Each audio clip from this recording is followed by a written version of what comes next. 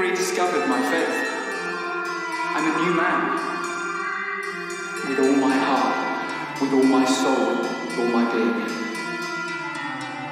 I suppose it is better that I leave Kattegat now.